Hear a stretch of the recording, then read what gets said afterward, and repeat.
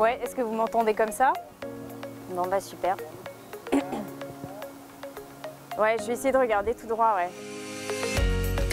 Euh, notre équipe euh, s'intéresse aux euh, haricots, qui est une plante constituant une source importante de protéines dans l'alimentation humaine. Et on recherche des gènes dits de résistance qui permettent aux plantes de se défendre contre des agents pathogènes comme des bactéries, des virus ou des champignons. On cherche à améliorer la production des plantes et leur capacité de résistante tout en euh, limitant l'utilisation de, pesticides, ce qui permettrait peut-être un jour de développer euh, des plantes euh, naturellement résistantes à ces agents.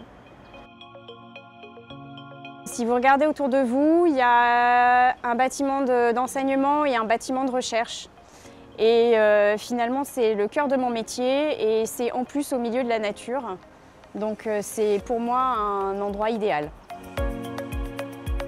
Alors des rencontres, j'en fais tous les jours. Euh, je pense qu'elles sont toutes importantes.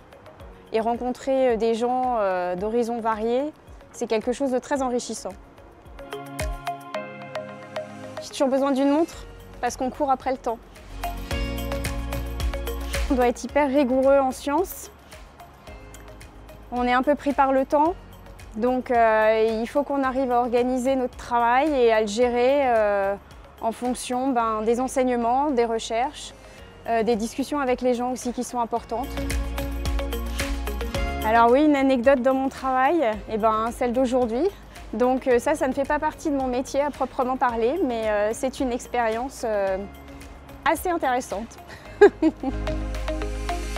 la date de mon recrutement, parce que j'étais sûre que je ne serais pas prise et que j'avais fait un très mauvais oral de concours. Ce matin dans ma voiture, j'écoutais La La Land. Et j'ai pas une chanson en particulier, mais toutes les chansons de La La j'adore. L'enseignant-chercheur, ben, c'est quelqu'un qui a euh, la chance d'avoir euh, gardé sa capacité euh, d'étonnement face au monde, qui en plus a besoin de partager et de transmettre cet émerveillement à un large public.